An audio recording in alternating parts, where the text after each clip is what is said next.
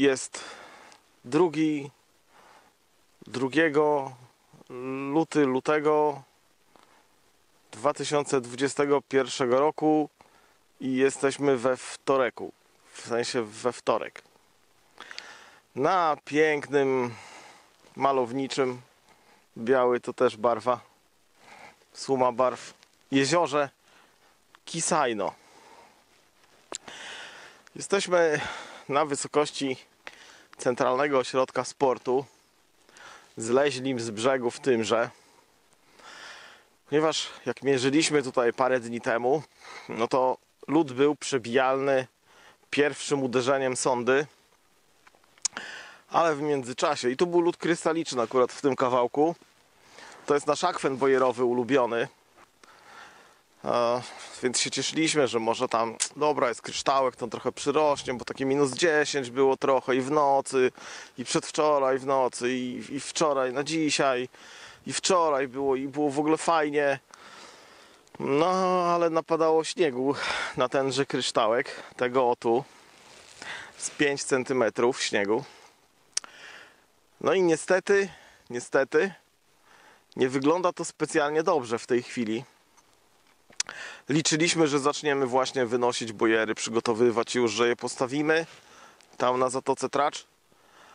Ale na Traczu jest tak słaby lód, że tam 20 metrów od brzegu można wyjść. No a dalej niestety jest przebijalny znów za drugim. No więc wyszliśmy sobie tutaj zobaczyć jak jest na tym miejscu, gdzie był kryształ. Bo na Traczu jest śniegolód. I on się co prawda wzmacnia. On się trochę wzmacnia, już jest lepiej. Natomiast nadal da się wyjść 20-30 metrów od brzegu i lód staje się bardzo kruchy na środku. Zresztą widać, poszły już pęknięcia. Tafla zaczęła pracować. Trzy charakterystyczne pęknięcia, które występują w tym miejscu, już są. Lód poszedł, woda się rozlała, ale teraz jest 0 stopni. Jutro ma być też w okolicy zera i w nocy ma być w okolicy zera. Śnieg prawdopodobnie obsiądzie. Potem natomiast mają przyjść mrozy.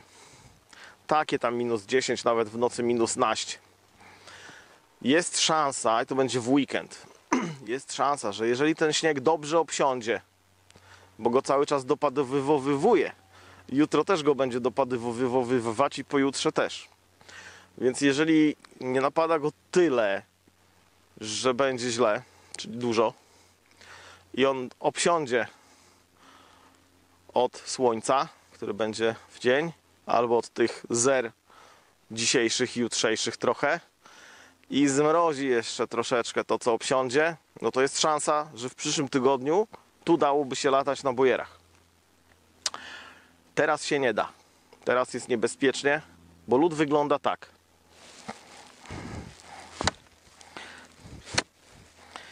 Tu jest to najtwardsze, środkowa taka warstwa, ale trzecim przebijam.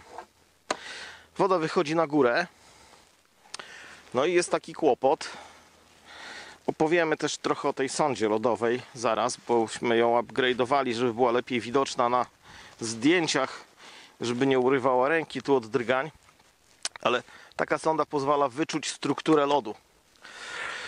I na górze jest miękko śniegolodzik. Trochę obsiadł śniegolodzik. Środek jest twardy, bo jest ten kryształ, który się już związał. Ale jak tylko przewijemy kryształ, który jest cieniutki, to od razu wchodzi. I ponieważ jest to wszystko zapadane śniegiem, nie można rozeznać miejsc, które są gorsze. Bo tu zaraz dalej, przed chwilą mierzyłem,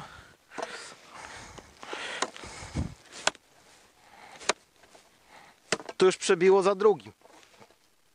Idziemy jeszcze dalej. I woda idzie już od drugiego.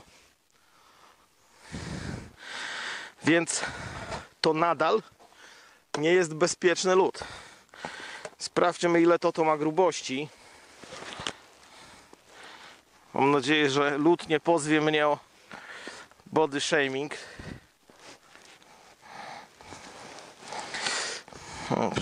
Miarka się nie w tę mańkę obraca. Co mamy? No mamy dych. Pokazuje dych. Dychę całej warstwy.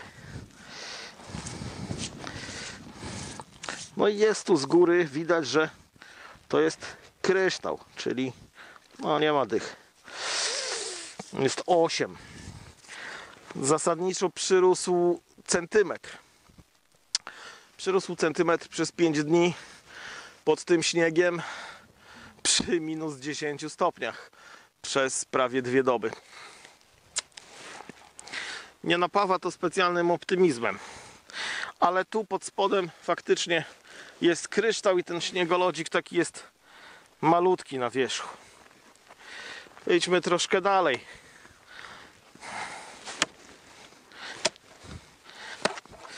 Cały czas przy drugim uderzeniu przebijamy się już do warstwy wody, na trzecim po prostu poszerzamy otwór tylko.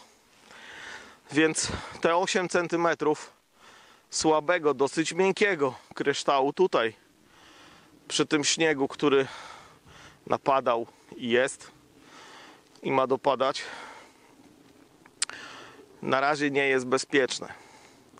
Na to jeszcze ja bym nawet na ryby nie wychodził w zabezpieczeniu. Więc całe to kisajno tutaj, co widać, no niestety ten lód jest słaby.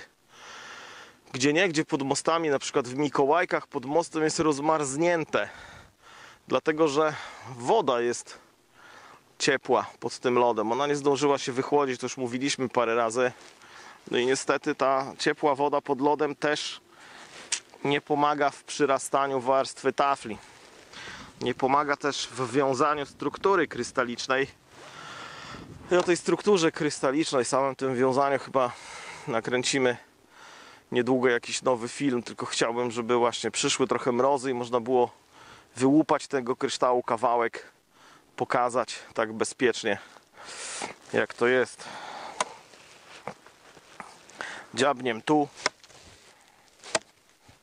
i już woda.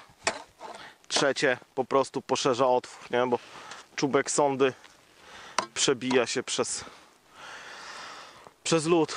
Jesteśmy no 15-20 metrów od brzegu na Kisajnie przy Cosie.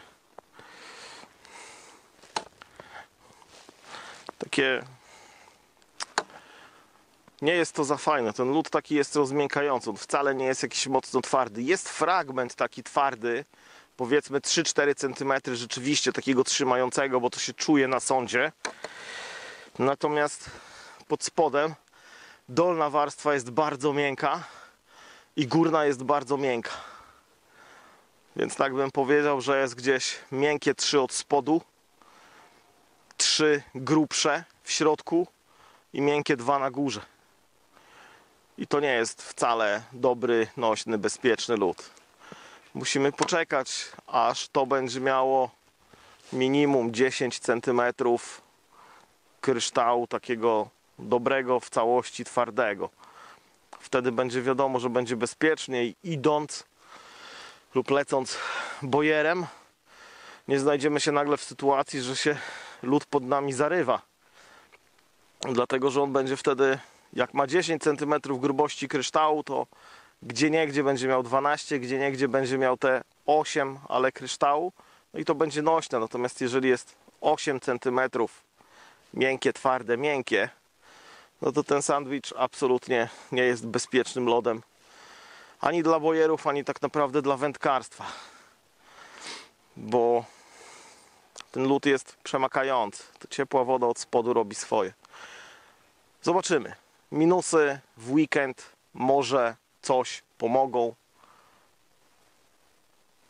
Zobaczymy, co będzie. No to wszystko jest bardzo, bardzo zależne od pogody. I jeśli komuś życie miłe, to lepiej niech nie wchodzi na lód. Przynajmniej na Kisajnie. Wiem, że na Niegocinie są trochę lepsze warunki. W, przy północnym brzegu Niegocina jest trochę lepiej. Tam kolega na ryby poszedł, mówi, że jest w miarę dobrze północny fragment Darginu też jest krystaliczny lód nośny, grubszy niż to tutaj. tu na razie niestety na Kisajnie bezpiecznie nie jest.